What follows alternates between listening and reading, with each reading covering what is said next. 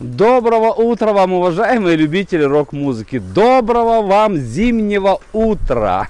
Вы спросите меня, мужик, а что ты там делаешь с позаранку под новогодней елкой? Отвечаю, я очень хочу оригинальничать. И не с вечера, а с самого раннего утра поздравить вас с Новым годом. Опять слышу вопросы. Так ты же уже оригинальничал и поздравлял нас с Новым годом с берегов Карибского моря, лежа в гамаке на пляже. Ребята, так то я поздравлял вас с обычным Новым годом, а сегодня хочу поздравить со старым Новым годом. Ведь сегодня, 13 января, знаменитый, единственный в мире, исключительно наш российский праздник повторения встречи Нового года. Четыре денька мы с вами отдохнули, от новогодних гуляний и хватит. И сегодня ближе к полночи мы все с вами опять дружно сядем за стол с шампанским, оливье и селедкой под шубой и будем загадывать новые желания. Согласитесь, что у нас огромное преимущество перед иностранцами. Ведь мы имеем возможность загадывать себе на Новый год два желания. Вот именно поэтому они нам так завидуют и накладывают на нас всякие свои нехорошие санкции, чтобы мы не вырвались, не дай бог, вперед со своими желаниями.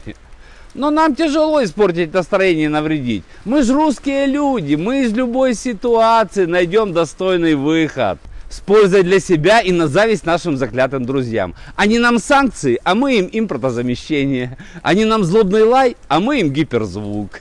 Они нам очередную цветную революцию под боком, а мы им миротворцев из ОДКБ, чтобы веселее им жилось на белом свете. Так что со старым Новым Годом вас, уважаемые граждане России. Хотел сказать, уважаемые любители рок-музыки, но решил повторить обращение нашего президента. Мне, кстати, понравилось такое обращение. Граждане России, уважаемые. А то обращение «дорогие россияне», которое практиковал Борис Николаевич Ельцин, все-таки вызывало у многих усмешки. А вот словосочетание «уважаемые граждане России» вызывают уважение и к себе, и к президенту. А мы вот с моим гениальным режиссером и продюсером решили сегодня устроить себе двойной праздник. И перед непосредственной встречей Старого Нового Года с загадыванием дополнительных желаний мы решили еще сходить на концерт одного очень интересного, на мой взгляд, музыканта в легендарный клуб 16 тонн. Зовут этого музыканта Владимир Золотухин, но он более известен под псевдонимом Золото – я до недавнего времени не был знаком с его творчеством, но находясь в Мексике, на берегу того самого Карибского моря, откуда я поздравлял вас с Новым годом, в свободное от отдыха время я просматривал в Ютубе статьи и блоги наших музыкальных критиков, интервью всяких музыкантов, смотрел новые концерты, клипы и увидел выступление группы «Золото» на квартирнике у Маргулиса.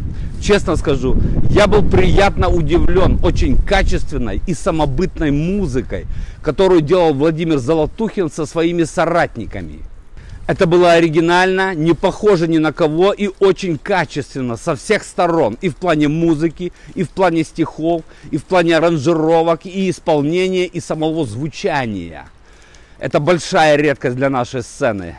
Поэтому я сразу же захотел попасть на их концерт, чтобы посмотреть, как эти ребята работают вживую и не откладывая в долгий ящик, тут же, прямо в телефоне, приобрел билеты на их ближайший концерт, который сегодня и состоится в клубе 16 тонн. Все-таки технический прогресс с цифровыми технологиями и социальными сетями – это прекрасная вещь из Мексики ты можешь познакомиться с творчеством каких-нибудь музыкантов, из Мексики же купить билеты на их концерт и, не ходя ни в какие библиотеки, прямо в телефоне ознакомиться с биографией музыканта. Расскажу вам, что я о нем узнал.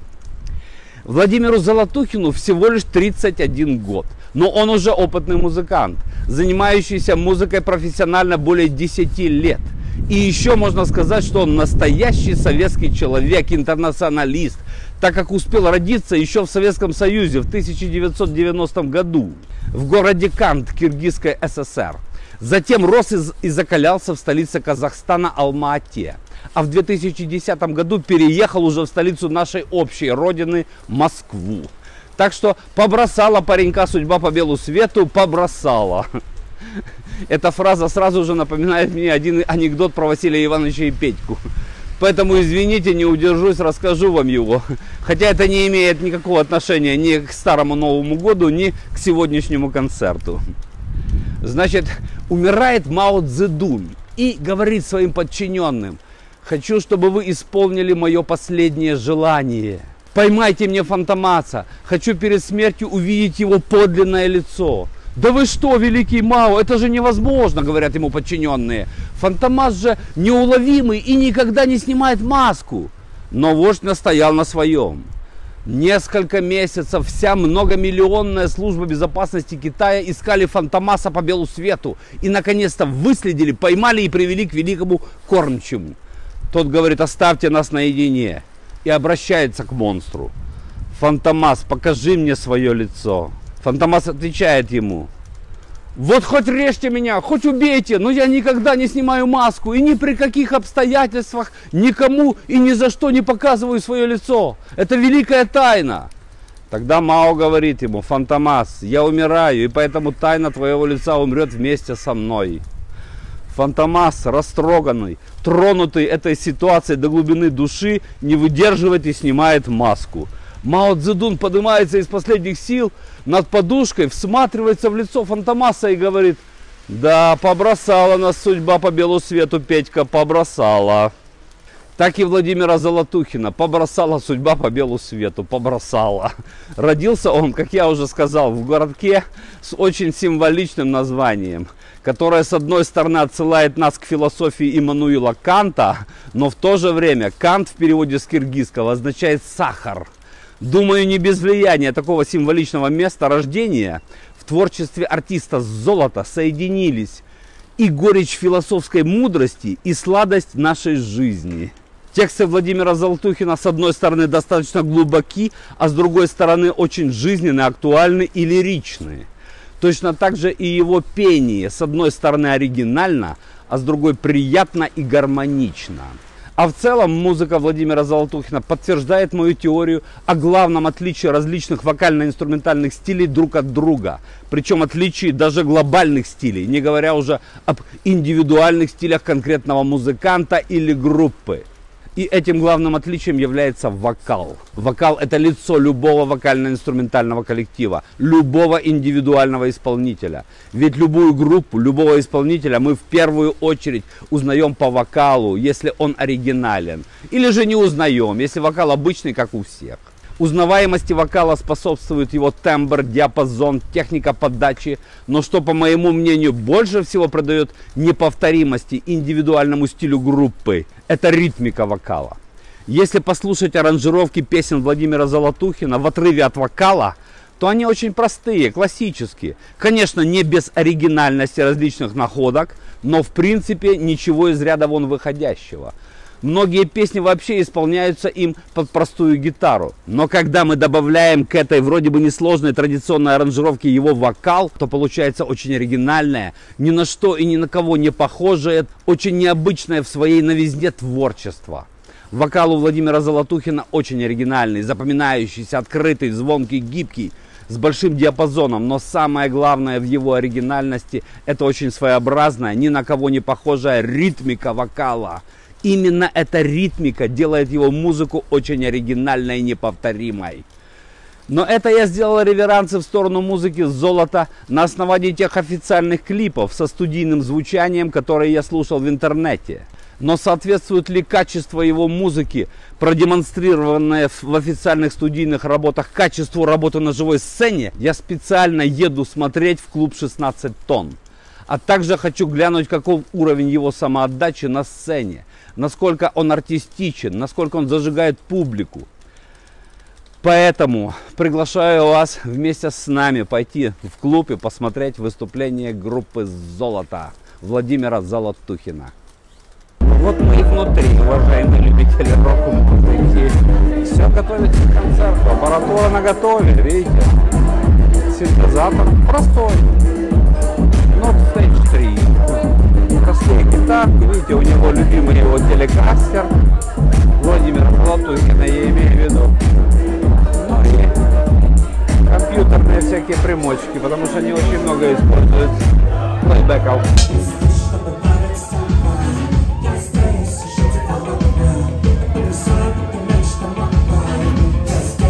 Чтобы ты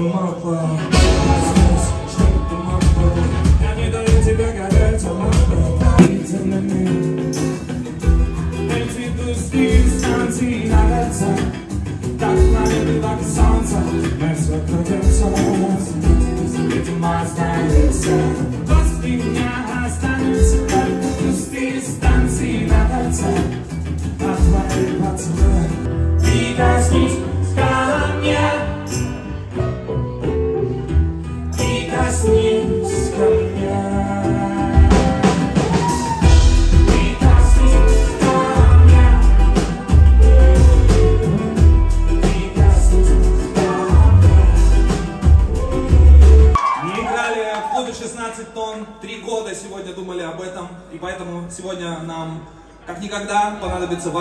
поддержка. Всех еще раз с прошедшими праздниками. А, кстати, сегодня Новый год, так что всех с Новым годом.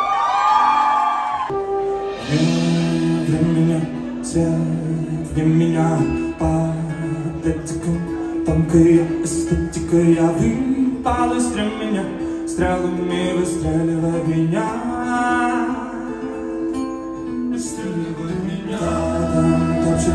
Потом как одиночество герой или ничтожество приятного. Очень...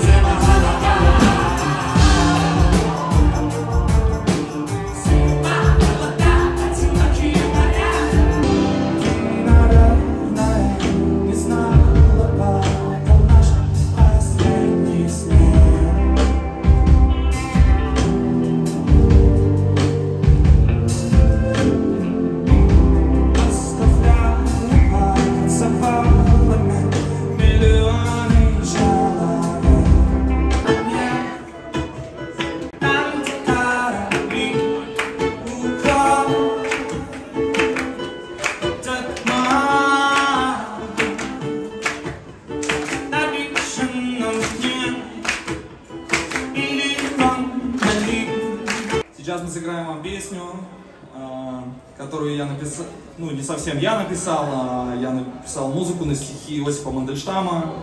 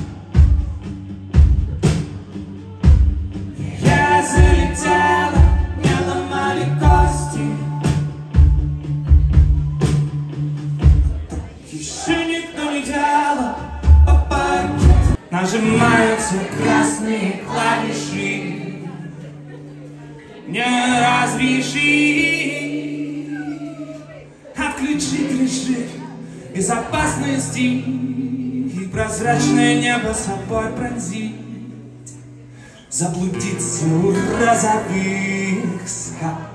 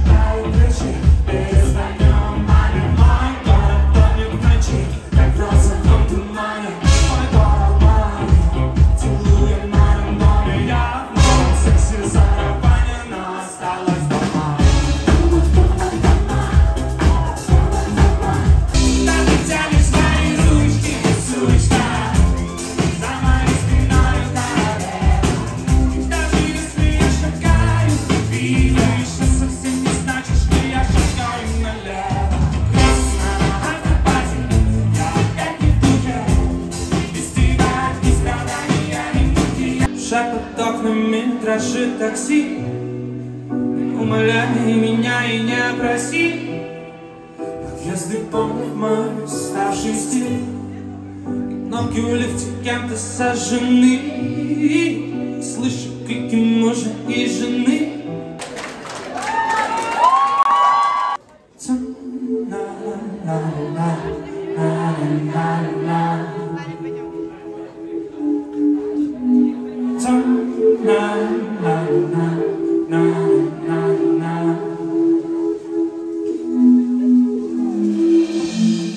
Останется здесь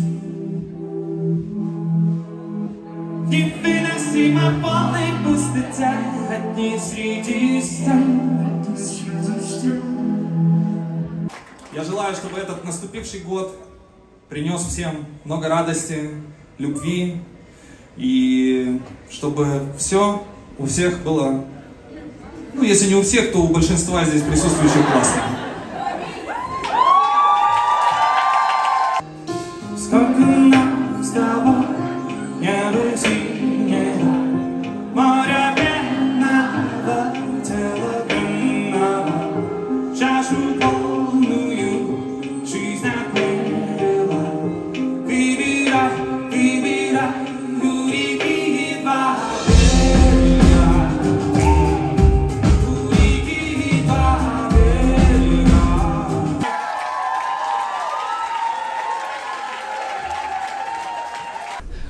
Любители рок-музыки, концерт группы «Золото» Владимира Золотухина закончен. И хочу вкратце подвести итоги. Вы знаете, я перед концертом говорил, что мне нравятся его официальные клипы, где официальная студийная запись, студийный звук. Это очень хорошо сделано, очень качественно. И я хотел посмотреть, выдадут они такой же звук, такого качества на живой сцене. Боялся разочароваться, честно скажу, потому что, как правило, звук на сцене у музыкантов хуже, чем студийный. Эти меня не разочаровали. Звук был не хуже. Звук был такой же, отличный звук, а может быть даже и лучше. И я скажу откровенно, и не боюсь перехвалить этих ребят, потому что эти ребята уже опытные музыканты, несмотря на свою молодость. Он создал очень оригинальный стиль. У него прекрасная оригинальная вокальная ритмика. И хороший вокал с хорошим диапазоном, чистый, звонкий. Но самое главное, он создал оригинальную ритмику вокальную, собственную, ни на кого не похожую. И опять-таки они не используют перегруженные гитары для того, чтобы задавить публику мощью. Только на чистом звуке работают, используют немного, немного, не- не- немного используют плейбеки. Потому что на сцене только бас-гитара, гитара, труба и барабаны. Ну и две девочки на подпевках. Плейбеки слегка поддерживают музыку, но это очень органично, очень красиво. Мне очень понравилось. У этих ребят есть чему поучиться. И повторюсь еще раз, что если в стране у нас появляются такие музыканты, значит здесь не все потеряно, значит у нас есть прекрасная возможность создавать музыку международного класса. И хотя Владимир Золотухин говорит, что он играет популярную музыку, а не рок-музыку, я с ним поспорю, потому что популярная музыка включает в себя и рок-музыку в том числе. И самое главное, у рок-музыки есть особенные критерии, которые отличают ее от других вокально-инструментальных стилей. И самые главные критерии это как раз вокальные, а именно ритмика вокала и техника вокальная, но в первую очередь вокальная ритмика. Это краткие окончания слов, что он постоянно делал, несмотря на мелодизм пения и постановка ударных слогов последних во фразе в контрапункт по отношению к метрическим долям. Поэтому это настоящий классический рок. Классический, я не говорю про металл. Металл там немножко другое, там уже техника вокальная другая. Там идет техника расщепления связок. А здесь он работал на чистом вокале, но это именно классический рок. И прекрасно качали ребята, просто прекрасно, я им аплодирую. Это прекрасные музыканты, вот такие. Уважаемые любители рок-музыки, едем с моим гениальным режиссером и продюсером из клуба 16 тонн с концерта «Золото». Какие впечатления у меня от этого концерта? Ритм-секция была отлажена очень хорошо. Она звучала сочно и мощно и качала зал очень хорошо. Это при том, что инструментов на сцене было минимум. Гитара, на которой играл сам Золотухин, бас-гитара, труба и барабаны. Вот все инструменты. Ну, а рядом стоял э, синтезатор, на который он периодически садился и играл. Дважды он там две песни каких-то сыграл. Но на самом деле было вот этих вот четыре инструмента.